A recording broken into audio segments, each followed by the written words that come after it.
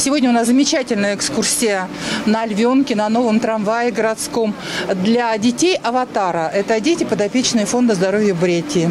Я просто счастлива, что по городу наши дети прокатятся на таком замечательном э, трамвае, увидят наш город.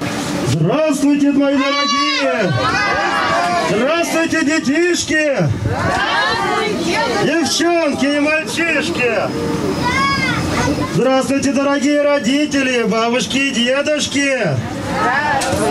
Наступающим вас Новым годом! что сейчас именно время, когда исполняются все желания, все, все, что вы не пожелаете, все, что вы скажете, все сбудется. С Новым годом вас! И мы вам дарим вот такие подарочки.